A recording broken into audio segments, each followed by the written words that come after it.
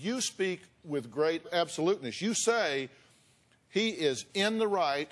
He did what he was supposed to do. He stood his ground. How can you say that when you weren't there?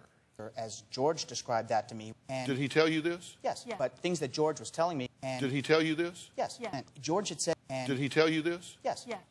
In his mind, he said, Did he tell you this? yes, Yeah.